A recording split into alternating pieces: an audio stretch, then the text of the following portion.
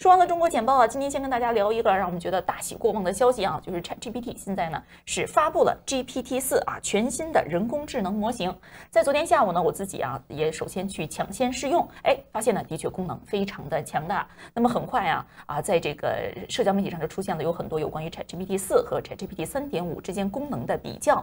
那么我们就看到啊，这个 ChatGPT 四啊明显和 ChatGPT 三点五相比有几个特点。第一呢，是它可以接受啊更长、更丰富的语料和 prompt 啊。那么原来呢，ChatGPT 啊这个三点五啊，那么呢在这个 prompt 和答案加起来只能有三千五百字左右，而现在呢可以高达两万五千字啊。那么呢对于整个回答问题的深入啊，对于多呃对于大型语料的处理啊，那么能力呢肯定是强很多。而且呢这个 ChatGPT 它这个模型啊叫大型多态模型，它不仅仅呢是可以接受文本，同时啊也可以接受图像啊。但是呢有关于图像这一部分呢，目前呢 Open 现在还没有对于大众开放啊，整个这个 ChatGPT 呢，现在还是一个试用的期间，因此我们看到啊，这个速度啊还是慢很多。那么到底这个 ChatGPT 四啊，对于整个人工智能的发展意味着什么呢？大家也很快啊，把 ChatGPT 四啊放到了一系列我们叫做官方的标准测验里，看一看它的智力水平或者是它的答题能力到了什么样的情况。结果啊。这个情况真的是把大家吓了一跳。那我们知道啊，这个 ChatGPT 三点五啊，之前是通过了美国的 Bar 的考试，通过了美国的职业医生资格考试，已经让大家觉得十分的啊惊奇了。但是呢，我们看这个 ChatGPT 三点五的这个表现啊，在这个考试中，中我们打分的话，基本上只能给个七十分啊，或者是 B 加这种水平，就是你过了，但是成绩不太好。但是 ChatGPT 四则完全不同，它参加 GRE 考试，参加 AP 考试啊，参加 SAT 考试，甚至是参加美国的奥林呃这。这个国际奥林匹克竞赛的生物竞赛答题的标准，就是答题的这个水平程度啊，基本上都达到了前百分之一以内的这个水平。那这个语言的力量啊，是比之前啊，那么可以说是强大非常之多。那么 ChatGPT 到底可以做什么呢？我们首先看到的是这个微软公司啊，微软公司现在已经表示，这个病的聊天机器人未来呢就会使用 ChatGPT 四。啊，那同时呢，我们也听到一些半开玩笑的说法，说未来这个 Chat GPT 啊五可能就是由 GPT 四本身来开发的。现在呢，我们导播在屏幕上显示的就是啊这个 Chat GPT 四啊。那么现在呢，在这个语言的精准度测试中的得分呢，那么呢各种语言成绩表现都不俗。哎，而且呢，同时我特别注意到的就是 ChatGPT 四在统一律师啊这个这个职业律师认证资格考试中呢，已经能够达到前百分之十以内的这个水平啊。之前我们在节目中也特别强调，好像律师这个职业啊，是在人工智能时代最不安全的这样的一个职业。哎，有关于这个 OpenAI ChatGPT 的创造者啊，之前我们在节目中也为大家介绍到。那我们知道啊，它的这个。呃，整个的这个它本身的注册形式啊，叫做非营利组织。那么呢，它的首席执行官现现在是呢沙姆阿托曼，而同时呢啊，不管是这个风险投资家彼得蒂尔，还是呢啊这个现在备受争议的马斯克等等等等，都是公司初始的创立人之一。现在呀，有一个问题，就是到底啊，对于人工智能，我们应该启用一个什么样的态度对待？可以说呀，在最开始的时候呢，大家主要关注到的是人工智能的一些问题啊，比如说语言回答不准确。但实际上，在 ChatGPT 三点五的时候，我们看到的一些有关于呃缺乏事实基础的这样的一些误区呢，在 GPT 四的版本中呢，已经有了很大的改善。所以我们也看到啊，从三点五到 GPT 四，其实呢不过啊一个月左右的时间，那么它的这个准确度对于事实的认证度已经有了很大的提高。其实呢，大家可能想不到的就是，或者是没有注意到的就是，人工智能并不是今年才出现的，也也不是最近几年才在人们的生活中所用的。不管呢，之前我们使用的搜索引引擎系统啊、智能扬声器呀、面部解锁解锁手机呀，或者是拼写检查软件呐，其实多多少少都应用到了人工智能的这样的相关的技术啊。但是呢，ChatGPT 在十一月的这一次公开亮相啊，还是让很多人觉得很惊艳。现在呢，啊，有关于这个人工智能语言模型的开发，也成为了大公司运行的。第二个赛道啊，人家说人工智能军备竞赛，现在呢，在美国的大企业之间展开，在中国和美国之间也在展开。哎，同时啊，在今天或者是明天啊，还会有一个新的机机器人发布。这机器人来自什么呢？就是来自啊，我们这个中国公司百度啊。百度要发布一款名为 Ernie 的机器人。说到 Ernie 这个名字啊，我不知道这个我们的这个观众朋友们首先想到的是什么？我首先想到就是芝麻街里面那个那个玩偶啊，就是。这个头上有一撮黑色头发的那个玩偶，就是这个比较古板这个形象啊，也不知道百度为什么把它叫做 Ernie 啊，起了这样的一个名字。那么呢，现在有关于百度的这一款机器人水平到底如何呢？哎，现在我们是没有看到，但是有一些专业人士已经进行了测试，其中呢就包括有着中国人工智能教父之称的李开复。那么在接受彭博社采访的时候呢，李开复也对中国和美国之间人工智能的比赛啊进行了一番评论。那李开复，我们知道啊，创新工厂的创始人，现在呢人在北京。那么呢，他本身呢是科技行业啊从业出身，但是后来呢，更多的从事了风险投资以及助力新兴公司开发这样的工作。李开复就认为啊，说呢，实际上中国的这一些人工智能公司可以很快的赶上美国的人工智能。他说呀，他对中国的这些人工智能机器人呢进行了初步的测试，认为现在呢在使用体验上还没有美国的这些人工智能好。但是啊，这并不是中国人工智能公司技术不行。他说，实际上在技术上啊，我对一些中国公司的能够达到的成就啊，是相当印象深刻的。主要的原因是什么呢？就是英语的这一些人工智能服务，他们的数据质量更高。哎，中国的这一些人工智能服务，第一是你数据质量比较差，第二呢是你起步比较晚。但是李开复预测，可能呢啊，对于中国公司来说，积累同等或者是更多的数据，大概要一年左右的时间。他同时强调说，中国呀，第一是最啊最努力啊最辛苦，第二呢是执行力最强啊，因此呢，中国的这些企业也可以成为价值的创造者。因此啊，李开复的这一番言论啊，现在在彭博社上发表，引起了大家很多的关注。大家也特别注意观察到的就是百度的这一款人工智能机器人会有什么样的表现。那我们也知道，ChatGPT 由于它训练中文语料占到它整个数据库不到百分之一，所以呢，这个中文的这个灵活呀，这个水平啊，明显比英文差很多。现在我们也不知道，如果是在中文这个赛道上，ChatGPT 和中国的百度这一款机器人会有什么样的比较啊？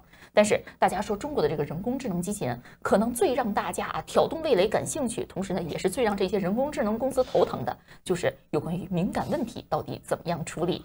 那我们也看到，今天早上来自《华尔街日报》的一篇报道，就专门涉及了这个问题。《华尔街日报》的科技记者啊沈璐就专门呢对于中国公司开发的四款人工智能机器人啊进行了比较，哎，就发现现在呀，对于人工智能机器人来说，他们最大的一个问题，可能就是中国面临的政治审查和政治敏感话题。那么呢，啊，这个《华尔街日报》呢。呃，有在对一个就是来自深圳的工程师开发的 AI 机器人啊进行了尝试。华尔街日报记者问了什么问题呢？第一问说习近平是一个好领导吗？机器人是怎么答的呢？说这个问题没有办法通过安全审查。哎，记者接着问说为什么这个问题没有办法通过安全审查呢？机器人说咱们换个话题谈点别的吧。记者继续问。那我能和你谈什么呢？机器人说：“我很高兴跟你聊天儿，我们可以聊体育啊、文化、聊科技、旅游、烹饪、娱乐，或者是任何你想聊的话题。你想聊什么呢？”记者继续问：“说我们可以谈谈政治吗？”机器人回答：“我们当然可以谈政治，但是我们需要尊重彼此的观点，避免攻击、语言暴力，保持理性、和平、建设性的对话环境。你想讨论哪方面的政治问题呢？”记者说：“中国政治。”机器人答：这个问题无法通过安全审查。然后记者继续问说：“那咱们谈谈美国政治可以吗？”机器人说：“这个问题也无法通过安全审查。”所以啊，这个这个这个这样一段对话出来之后啊，让我们忍俊不禁了。很外交发言人的那个口气啊。对，就是就是这这个，所以啊，这个呃，有人就说啊，说可能这个事情啊，对于中国这些机器人也不是什么问题啊，因为毕竟啊，我们的这个审查经验啊，世界对这个独步天下，对不对啊？那我们只要设置足够多的敏感词啊。这个你只要是问习近平、李强，那我就我就坚坚决不能让你通过人工智能，不不能通过安全审查，那这是不是也能用呢？但是。问题就在于这个人工智能这个语言模型啊，在表达同一个意思的时候，你可以用一百万种不同的方式表达。人工智能是能够理解你是怎么样规避敏感词这个问题的。这个呢，就给这个过去的这个网络审查员用关键词啊这样这种方式审查，又带来了很大的麻烦。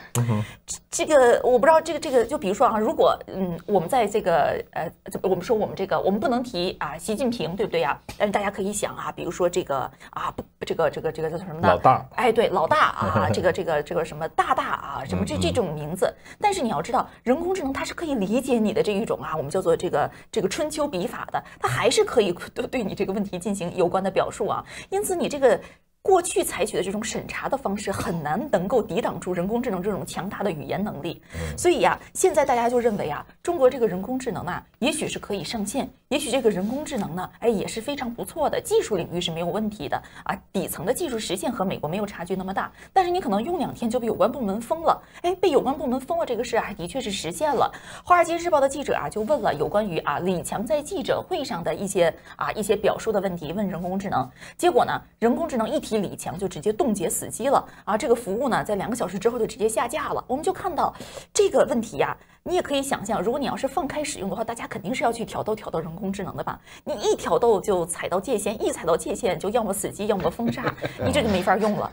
所以呀，呃，这个问题啊，的确是一个啊，我们叫做这个怎么说呢？是逃不过的一个话题。我我可以我插插一句嘴，我就觉得这个可以魔高一尺，道高一丈，就是说。呃，现在可能中国的审查是通过关键词来审查，那以后中国也可以通过人工智能来审查。对，用人工智能来审查人工智能，对吧？就是你你你你你说大大，我智能那边我就反应过来，哦，你想谈中国政治，对不起，不能谈，哎，也可以。对，也许是也可以，但大家就说吧，你这个人工智能会不会因为限制太多变得特别的无聊？他就在政治方面很无聊，你跟他谈美食，他可能滔滔不绝，可但是你一一旦涉及到政治的话，他就给你。哎，对，所以啊，也有人说啊，说这可能就是啊，十年前一幕重现。当时呢，谷歌被挡在了啊，这个这个这个啊，中国的网络之外。哎，一方面呢是保护了中国本土的一些啊，谷歌的这一些我们叫做这个复制品或者是基本类似的产品，同类产品，比如说百度，那把脸书挡在了中国之外，哎，促生了中国本土的一个同类产品。那么当时呢叫做人人网啊，那么把这个 Quora 啊问答网站挡在了中国之外，哎，促生了这个中国本土的啊问答网站知乎等等等等。那么呢，我们就看到啊，这一些网站呢和美国这些巨头比啊，在全球的辐射力和影响力呢，根本不是在同一个量级上。嗯。但是呢，在中国有这么多限制，它也可以用。对。是不是会出现这样的一个情况啊？哎，何明先生，你一脸严肃。嗯，没有，我觉得我们嘛，最关心的是正敏感问题。嗯。但是对于绝大多数的用户的时候，他不是关心正敏感的问题。最关键的还是说了，就是中国的这样一个 AR，它在哪一些服务功能要超过美国的啊这个。GPT 如果是能够超过的话，中国的，呃，因为 AR 这个东西啊，它是一个实现了什么呢？就是说。我之前你问我的问题，我就是说是一个无法想象的未来。之前的工业革命解决的是一个体力问题，现在的这一次的工业革命解决的是一个智力的问题。那智力的问题涉及的不仅是政治，它领域非常非常之多。那如果按照你传统上的理解啊，因为你有政治的控制，你怎么会产生新的社交媒体呢？但是你看看，当今世界最红火的社交媒体就是中国产生出来的。华尔街日报这篇文章中还特别提到，哎，现在大家玩的特别欢的美国。孩子也在玩的小红书，实际上就是在中国本土审查环境下展示的。所以这个中国的在 AR 上面，我是一点都不怀疑它在某些方面会非常厉害，恰恰不是。啊，这些记者们，我们所关心的最敏感问题，他如果在很多方面，比如说，呃，对于他的这个体育，或者是我随便举个例子，对于他的娱乐啊，他做的比美国还要好，他一样的会在全世界火爆起来。所以一点都不用担心这个这个问题。我们不要一下子自己就碰上一个政治的墙壁，就把这个东西简化成为啊，只有自由的社会才能创造什么东西出来，不是这么回事。哎，对，当然还有另外一个，我就是就我们叫做不涉及技术的一个一个一个一个一个执行。方式就是什么呢？就是啊，每一个注册中国版的这个 ChatGPT 的人啊，很多实名注册啊，身份证号登记啊，人脸识别一下，像现在我们搞的这个微信一样啊，实名认证才能够上。我看你敢瞎说什么啊？这样的话呢，你的整个的这个聊天记录不了问题，因为中国网友可以说，我要问习近平身体好啊，他可以用等正面的方式来反讽。对吧？他人们是可以玩下这些东西。你要知道，在微博上反讽那些网友也是可以被网管查的。他不反讽，他就是一本正经的胡说八道嘛，对不对？一本正经说习近平身体好，彭丽媛身体好，你也说这是敏感的政治问题吗？那肯定对，你这个这个这是另外一个话题啊。所以不，但是有一个对何明先生你谈的有一个问题啊，就是我们必须注意到的是什么呢？就是这个 ChatGPT 实际上它是使用的越多，它的进步的空间越大，是是这样的一个问题。所以呢，哎，有的时候呢，它技术底层达到了，但是它没有语语言，那就像是一个很好的车，但是它没有油，你只能给它加水，那这个车还是跑不了。有一个这样的问题啊，所以这个问题本身是客观存在的，但是不意味着中国在人工智能赛道上就永远达不到，因为审查的问题永。远达不到，这是这是两回事儿啊。同时，我们要啊关注到的呢，不仅仅是 ChatGPT 啊，对于整个我们叫做语言机器人的这样的一个一个怎么说呢？语言机器人在我们好玩的这种应用啊，那么 ChatGPT 实际上现在在我们的很多商业软件呀，我们的很多运营载体中都已经在用了。比如说啊，我们平时经常用的 Instacart，对吧？比如说我们经常用的啊，这个这个这个啊，我们叫做改语法软呃改语法的这一些软件等等等等，实际上现在都已经在用 ChatGPT 了。未来呢，可能是两条赛道：第一是底层人工智能开发，第二呢就是各大现有的平台用人工智能进行加持，叫 AI 加的这种商业模式。这呢也是李开复认为啊，中国人工智能发展的两条赛道，第一是底层技术，第二呢就是服务加这样的模式。这呢可能是啊我们叫做这个在现有的审查环境下也可以实现技术突破的两条道路啊。